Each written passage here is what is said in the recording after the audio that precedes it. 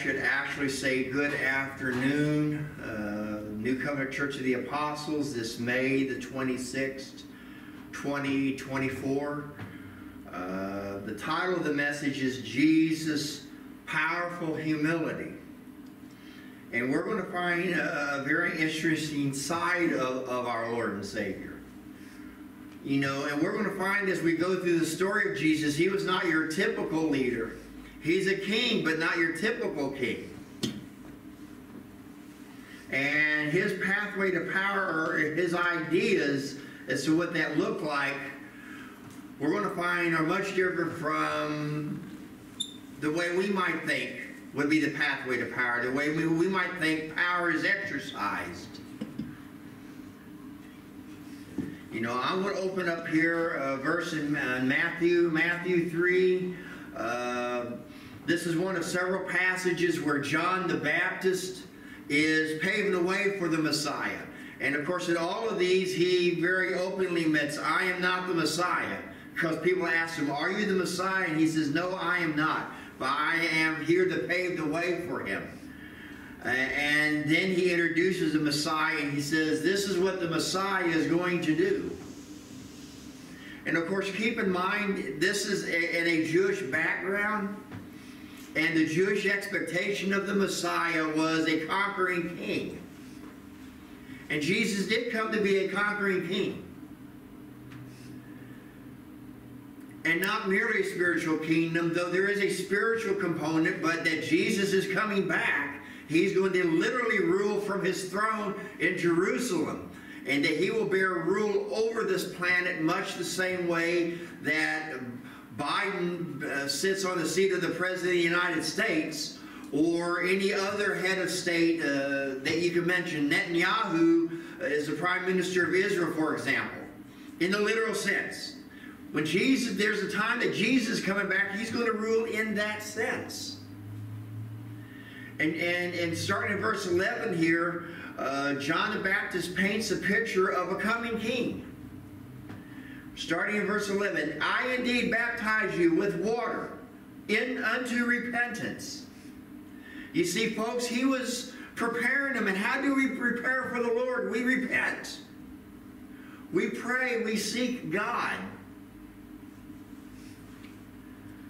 But then he adds, He who's coming after me is mightier than I. So much mightier that John says, Whose sandals I'm not worthy to carry. He will baptize you with the Holy Spirit and with fire. Now, we, I think most of us in here, a lot of us in the online audience have an idea what the baptism of the Holy Spirit is, but not a lot of people realize what the baptism of fire is. Now, some of you who may be in the military have a, a, concept from the military. They would often use the term baptism of fire to refer to that very first firefight when going to war. That would be the baptism of fire from the perspective of a military person. And what God has in mind is somewhat similar. He's not training us to take AK 47s and M16s into the battlefield. That's not what we train to do. That's not how we conquer. But the baptism of fire, talking about here, is the persecution that would arise because we name the name of Christ. We receive the baptism of the Holy Spirit. We're filled with the Holy Spirit. We're filled with the power of God, the resurrection power of God. But then there's a baptism of fire that immerses us into the cross of Christ. So we see this interesting juxtaposition of statements of power, but then there are other statements that uh, imply that we, the road may be humbler than what we think from our worldly perspectives when we start talking about things relating to the kingdom. It gets harsher here. Verse 12 His winnowing fan is in his hand. He will thoroughly clean out his threshing floor and gather his wheat into the barn, but he will burn up the chaff with unquenchable fire. So John the Baptist is presenting the picture of this Messiah as this conquering king. He baptizes with the Holy Spirit, he baptizes with fire. But then there's a gathering of the wheat, which is those who believe in him into the barn. And then fire comes up again, but it's that's judgment, destruction to his enemies. So he paints this picture of this conquering king here. Someone that when he walks into the room, you get on your hands and knees and you do obeisance and you bow before him and say, Oh, mighty king.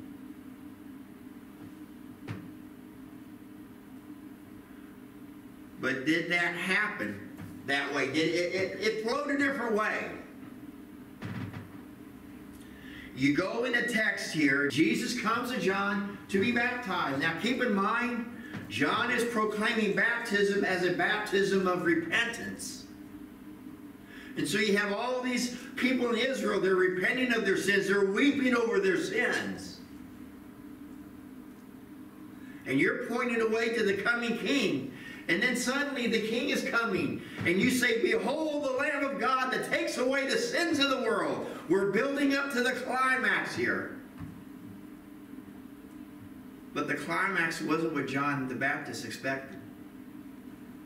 He was going to make this royal introduction to the king when he sees Jesus coming towards him as he's baptizing people in the River Jordan. Jesus asks him to be baptized. And so he, he then says, John the Baptist says, Lord, I need you to baptize me, and you come to me? Our Lord and Savior was taking a humble path. He was taking the path of powerful humility.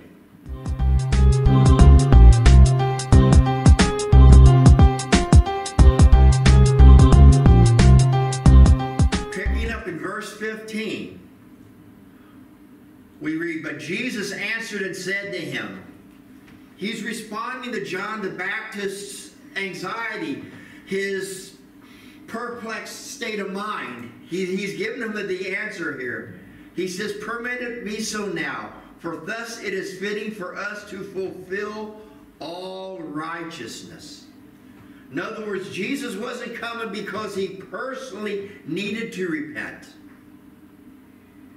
And we're going to find out later it was for our sakes that he was baptized. And then, of course, John the Baptist allowed in verse 16. And when he had been baptized, Jesus came up immediately from the water. And behold, the heavens were opened to him. And he saw the Spirit of God descending like a dove and lighting upon him. And suddenly a voice came from heaven saying, This is my beloved Son, in whom I am well pleased. Folks, I want to just drop something here. If you hear people say the Trinity is not in the Bible, they don't know their Bible. We see right here all three persons of the Trinity. We see Jesus Christ as the Son of God. We see the voice of the Father and the Holy Spirit descending like a dove on, on our Lord and Savior. And of course, this marks a turning in Jesus' life. Jesus was born 100% God, 100% man. The human nature was open to God. The human nature was sinless, was flawless. But what was happening here, that the, the human side was being filled with the Holy Spirit. And that was for our sakes, folks. And this marked a turning point in his ministry because he went from being the perfect Son of God, he went from a, a, lifetime of receiving revelation of God, of learning not only from the Father, but from whoever would teach.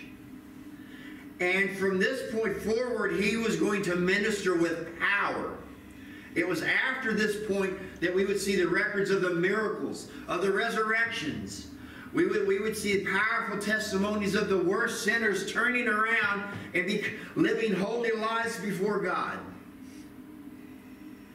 We would see after this the great crowds following him. And he would also have his baptism of fire, watching those same crowds evaporate when the persecution came. But right here, he is filled with the Holy Spirit filled with all the fullness of the Godhead. And of course, he has that and the divine nature, but this infilling that's happening here is in reference to the human nature of Jesus.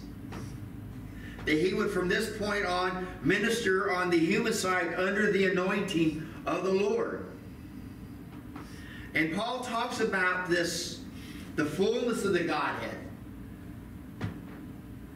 And he speaks of Christ here. And in Colossians 2, starting in verse 8, he warns the Colossians not to let people cheat them through philosophy that would be based after the ways of man and not according to Christ. And oh, it's so easy, folks.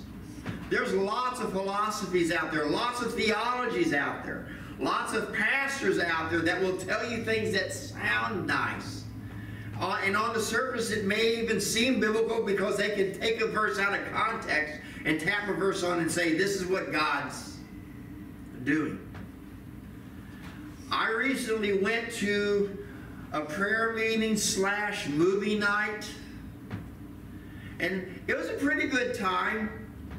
The movie was a powerful movie, ending with someone being a drag addict being radically turned around. But it, as, as, a premiere, it had the usual trappings. You could go and rub elbows with the actors, take your picture. It was a premiere. It was a promotional event.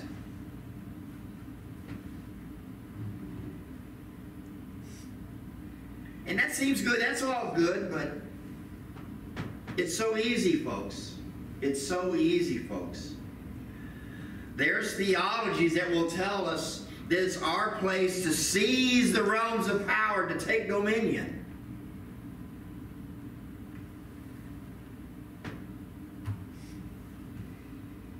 That Jesus seized the power when he was on this earth. In fact, he, he had someone once tell him, all these kingdoms are mine. Satan tempted him with the, the, the lure of power. All the world is mine. If you worship me, I will give it all to you.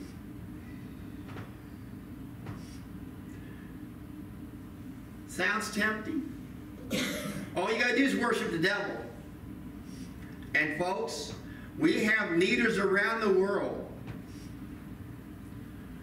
who worship the devil. We've been doing a series on Mystery Babylon. At the heart of it is this false religious system. We have Luciferians at the highest levels of power in the United States of America. The, the similar scene in Britain, Europe, all these nations.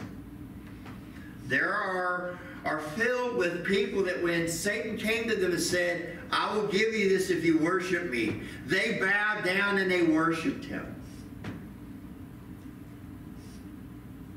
What did Jesus do when he was given the, uh, the opportunity to simply seize power? He said the following Get thee behind me, Satan. Jesus rejected power. I want to repeat that. He rejected worldly power. And it's not because he was envisioning this eternal spiritual kingdom. Yes, there is that. The, the kingdom of God is here now, spiritually. When we're under the anointing, we, we can seek God. He gives us the anointing. We can lay our hands. We, we've seen this happen. We've seen miraculous answers to prayer. In the last several years, two major miracles have happened. One involving saving someone from death, the other involving the creation of new life. The result of one is I still have my wife, Sister Ann, with me. And the other one, we have acquired a grandson. And those aren't the only miracles. Around the world, God is, is doing wonderful, marvelous works. So I don't want to take away from the spiritual kingdom. Uh, but Jesus wasn't rejecting worldly power to have a kingdom that was only spiritual. Jesus was trusting in God.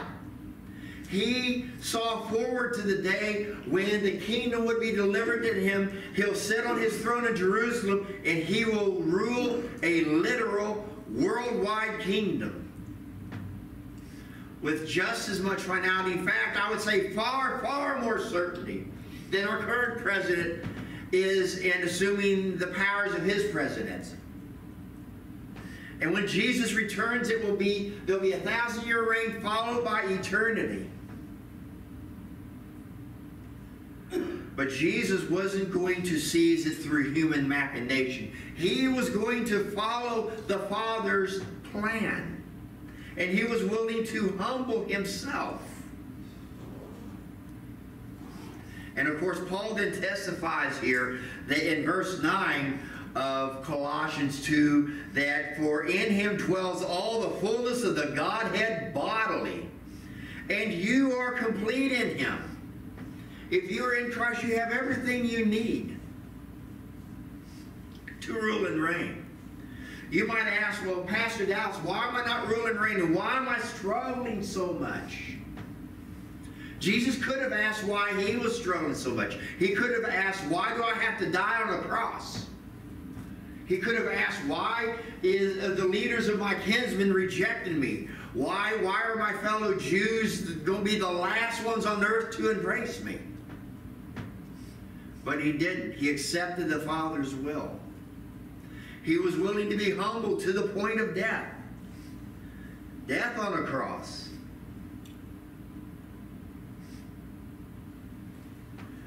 And in Philippians, we, we see this here in Philippians 2. Uh, let this mind be in you, which was also in Christ Jesus, who being in the form of God, did not consider it robbery to be equal with God, but made himself of no reputation, taking on the form of a bondservant and coming in the likeness of men.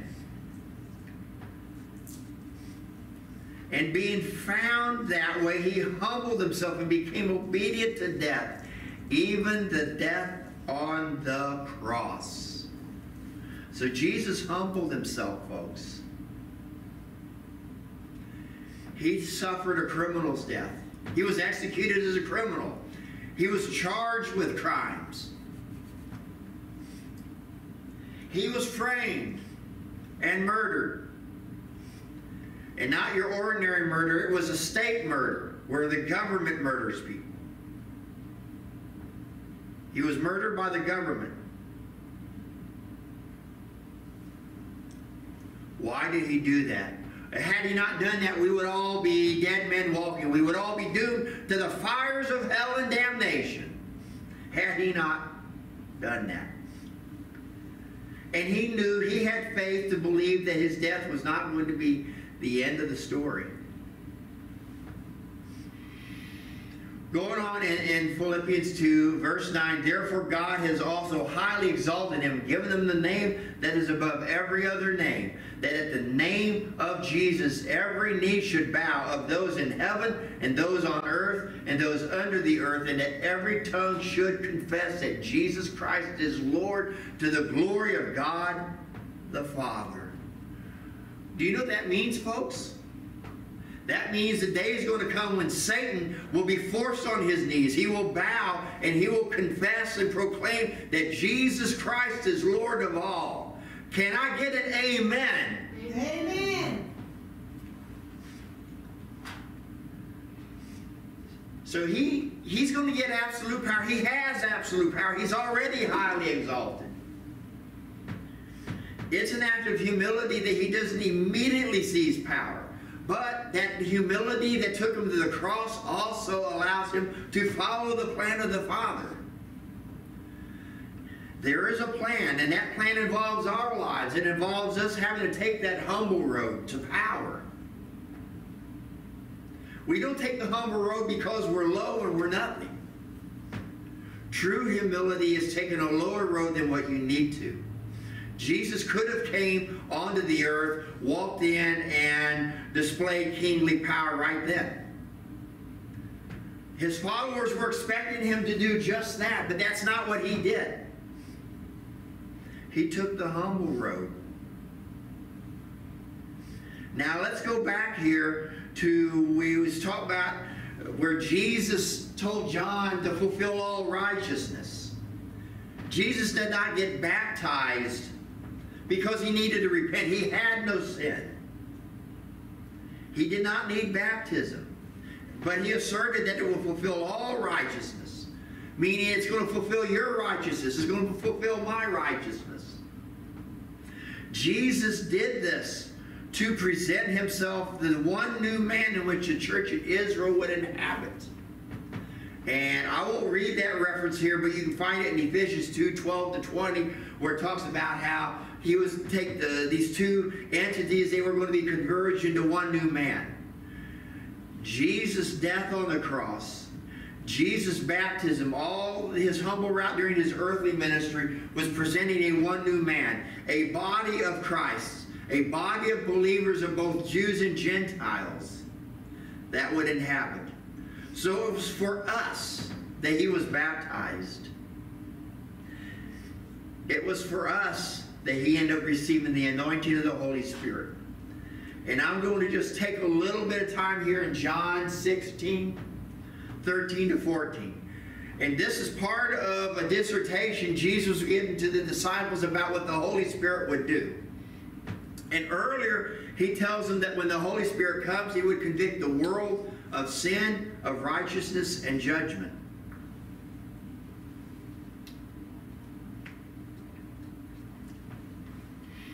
It's the same convicting ministry that draw, drew us who are saved to him.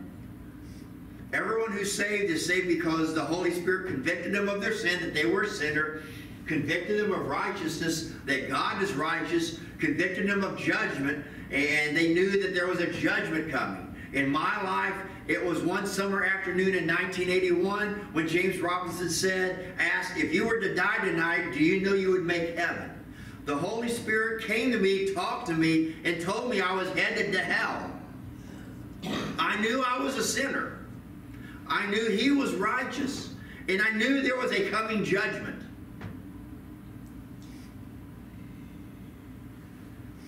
And I came to Him. So, that first part of that dissertation was what He's going to do in the world. But in verses 13 and 14, then uh, Jesus starts instructing them what he's going to do with, with those of us who are saved. However, in verse 13, when he, the Spirit of truth, has come, he will guide you into all truth. He will not speak of his own authority, but whatever he hears, he will speak. And he will tell you things to come. This covers a wide gamut from uh, inspiring the apostles to write the scripture, to write the New Testament, to complete the canon of scripture. This is operating when the Holy Spirit gives you revelation about circumstances that are going on, or, you know, sometimes God warns you. I know I was driving one day, and Sister Ann can confirm this, but the Lord told me that when I was going to get in front of Taco Bell, that I was going to be in danger of an accident. And to be watching when I got right up to Taco Bell, that there was going to be a big accident. So I get up to that Taco Bell, and this uh, uh, this car did this far pass on the right and suddenly swooped in to make a left turn. And I had to slam on my brakes. Now, had I not been warned, there probably would have been an accident. But I knew going into that, and I started slowing down, I knew something was because God told me. The Holy Spirit can do that for you. Verse 14, we see a, a, doctrinal point that gives us some insight as to the nature of the anointing. It says, He will glorify me, for He will take what is mine and declare it to you. What does that mean? That means the Holy Spirit is ministering an anointing. The anointing might be revelation. The anointing might be power to lay on hands and work miracles. The anointing might be uh, just supernatural strength to do a task, supernatural endurance. It can take any of a number of forms. But the Holy Spirit is ministry. but not of himself. He, he, he, is, he has his ear, figuratively speaking, to what, to what the Lord Jesus wants to do. And he's ministering from Jesus according to the will of the Lord Jesus Christ. In other words, Jesus Christ is saying here that he has executive control over the anointing. This leads to some interesting things when we, we think about the anointing. And of course, the interesting thing here is that Jesus' human nature, while he was on this earth, was that of an anointed man. Luke 4:18, he's uh, quoting from the Old Testament here, from, from Isaiah. The Spirit of the Lord is upon me because he has anointed me to preach the gospel. And he goes through that whole passage in Isaiah 61. And then he closes the book after doing that reading in the synagogue and says, This day is fulfilled in your hearing. In other words, Jesus was saying, I am that anointed person that the prophet was talking about. And in Acts 10:38, we, we see this again. How God anointed Jesus of Nazareth with the Holy Spirit and with power, who went about doing good and healing all who were oppressed by the devil, for God was with him. So you see, Jesus' human nature on the earth was that of an anointed man. Now, you might ask, if Jesus God, why did he need the anointing? It was for our sakes. It was for our sakes that he was anointed.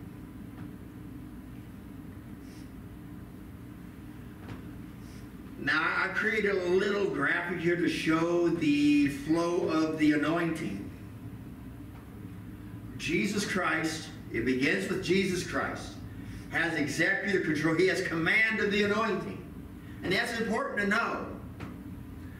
Because if he has command and you want the anointing, how do you get it? You, you ask the Lord Jesus, saying, Lord Jesus, give me this. He gives instructions to the Holy Spirit. The Holy Spirit pours out the anointing on the anointed human. So far, so good. Not really a twist. That's pretty straightforward. Straightforward, John 16. Now here's where it gets interesting. And then here, this graphic, I'm showing the biblical flow of Jesus' anointing as it is presented in Scripture. And then the next one, I'm going to show how the New Apostolic Reformation has distorted that with, with a warning.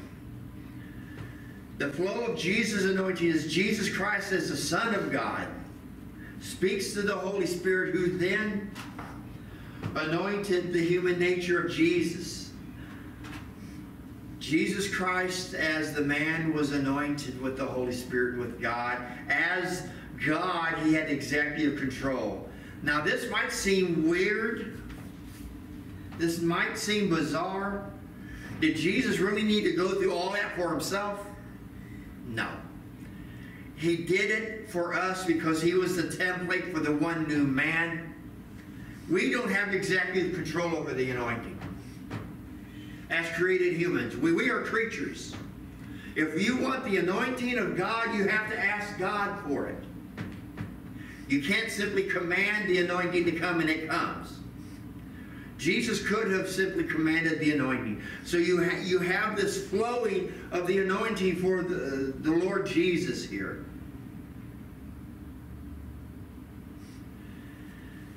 In the NAR, however, and especially among those who deny the hypostatic union, among those who would say that when Jesus was on the earth that he, he was emptied of his deity, he was just a man. Or for those who might say, yes, we'll agree he is 100% God and 100% man, but the divine nature was just put on a shelf like I might put this water underneath the pulpit here. They can't appeal to the divine nature of Jesus as a starting point. They're forced into a Gnostic or quasi-Gnostic interpretation of the Holy Spirit, which then anointed Jesus, the Son of Man. And the reason that I'm saying that it's Gnostic is without understanding that Jesus is in charge of the anointing you're left with this space. And I've seen this in the NAR. I've been to NAR churches where the mindset was that the anointing is for certain people. Certain people have the divine spark, they have the anointing of God. And the rest of us have to go to this anointed person. We have to somehow align ourselves with anointed person, follow them, and God forbid, never, never say anything critical of anything they do. Even if they're out whoring around, even if they're out committing murder, even if they're out cooking the books, never say a word because that's the anointed man of God. And if you want the anointing and blessings of God, then you have to bow before them. That NAR distortion is a lie straight from the pit of hell. Amen. And this is part of why we at New Covenant Church of the Apostles view the New Apostolic Reformation as damnable heresy. And that's not really how the anointing flows. Back to our flow here. Jesus Christ as the Son of God, the anointing has executive control of the anointing. The Holy Spirit then administers it to the anointed human, whether that anointed human is the God man Jesus or whether it's you and me. So, what does this mean? This means that we should practice the humble road, the road of humility. And why should we practice it? Because we trust in Jesus and know that he's going to glorify us. This is what Paul said, 1 Corinthians 2, the first five verses. And I, brethren, when I came to you, did not come with excellency of speech or of wisdom, declaring unto you the testimony of God. For I determined not to know anything among you except Jesus Christ and Him crucified. And I was with you in weakness and fear and much trembling.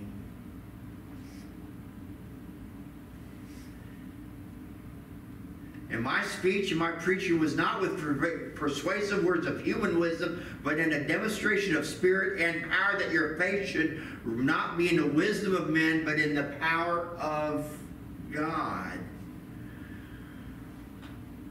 Paul could have came as an eloquent speaker. We have many eloquent speakers in the church. We have entire ministries that reach thousands, even millions eloquency of platform.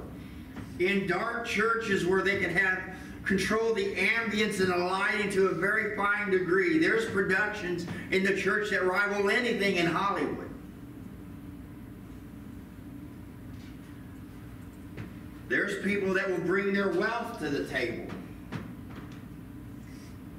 And they would advocate that we seize the, the, the reins of wealth and power. From wealth and power and strength, we conquer the world for the kingdom of God. Did Paul do that? He could have uh, at least done some of those things. He was trained uh, by the Sanhedrin. He was trained by Rabbi Gamaliel. And likely was either on the Sanhedrin or getting ready to be on it. He was being groomed to take his place on the Sanhedrin. And he gave that up for the cross. And so Paul could have came in with eloquence. He, he had the skill set to do eloquence. He was born a Roman citizen, so he was at least above average in wealth and means. Certainly connections, and on some occasions Paul used it when he was about to be beaten. He invoked his Roman citizenship to avoid a beating. So Paul certainly had the means to come in from strength, but he didn't come from strength but in trembling and humility and weakness. Why his trust was in the power of God. His trust was in the Lord Jesus Christ. And so he practiced a humble, humble road. He endured persecutions. He fought lions. He was in the arena but not because he boasted he was the strongest gladiator. In fact, he had a thorn in the flesh, and there's speculation what it might be. Some of the speculations was it was a health issue. We don't know exactly what it is, but he had an infirmity of some kind in his flesh. And while he had it, he had to fight off lions. How many of us could be a lion if we was in the arena? Unarmed, probably none of us. It would be against us even if we had any armaments other than, than guns. I'm not sure that our, uh, I'm not sure that the pistol would, you know, necessarily take down a lion. Maybe a hunting pistol, of the right caliber. Paul didn't have that. They didn't have pistols back then. They didn't have advanced military weaponry. At most, he might have had some kind of sword or spear. And he was in the arena, facing off with lions. Paul was beaten and left for dead. And on one of these, on uh, one occasion, may, he may have actually technically died in a manner not unlike Sister Anne did for a matter of minutes when she was on the ventilator. And he came back and he suffered persecution. He has dealt with conflict in the churches, rejection of his fellow Jews. He walked a humble road when he could have had the best of wealth and power of the day. Moses walked a humble road. He could have been uh, prime minister in Egypt. He forsook that. Spent 40 years in the wilderness with a, a bunch of stiff necks. But when you look at the long game, would we know about Moses had he been prime minister of Egypt? If Paul had taken his seat on the Sanhedrin, would he have had the impact on history that he does today? I would say not.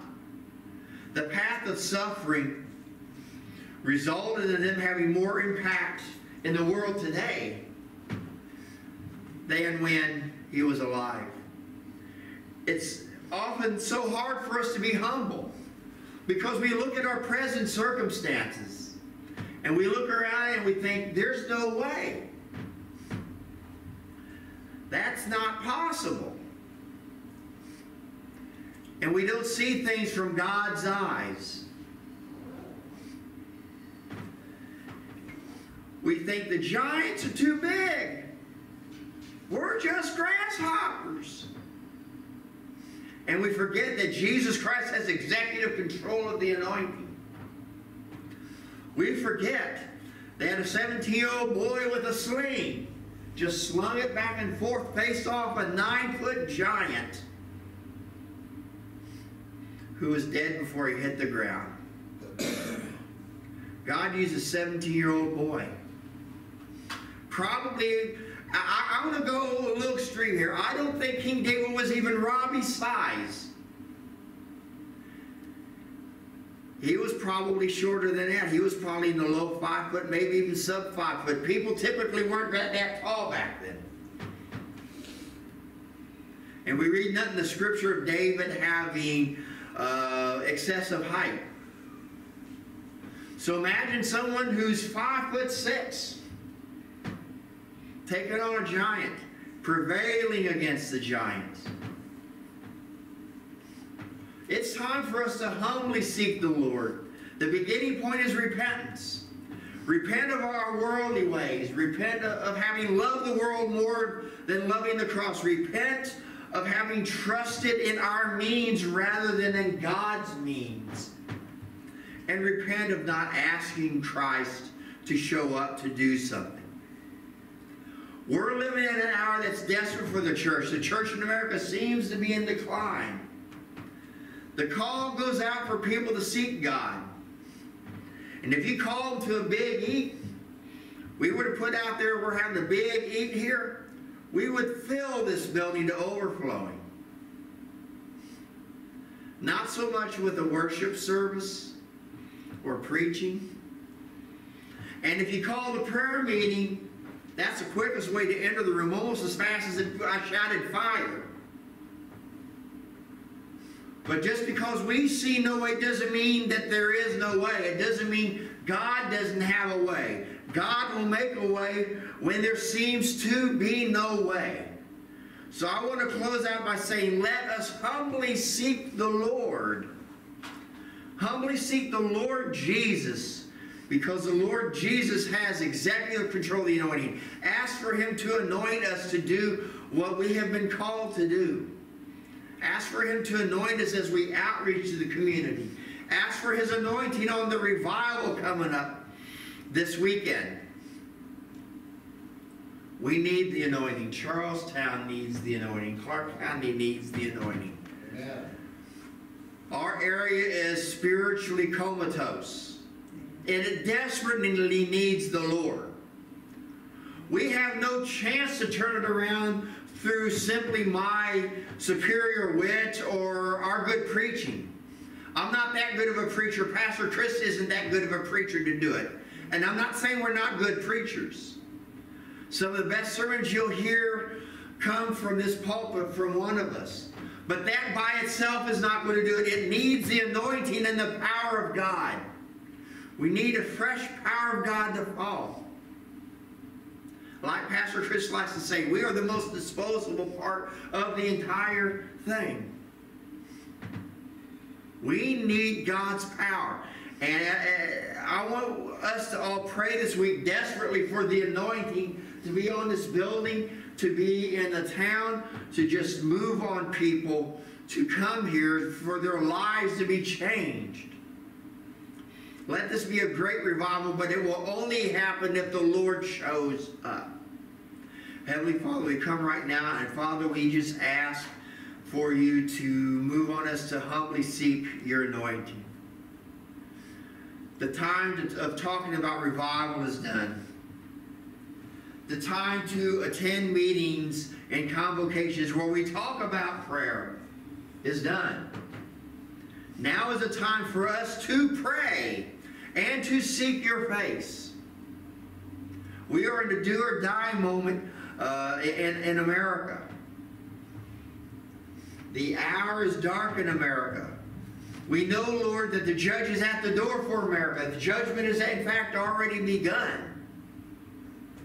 And Lord, we know if revival doesn't come soon, that it will come later when we are in dire straits, when we are being thrown to the lions, figuratively speaking, maybe literally speaking.